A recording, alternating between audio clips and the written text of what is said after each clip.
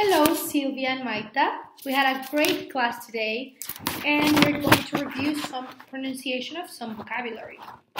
Okay, so highlight, once in a while, coughing, cheat, blueprints, rooftop, repertory host, chickpeas, insurance, expires, all inclusive, wristband, hammock, fly attendant, layover, air fryer, prepaid, credit, fountain stock market.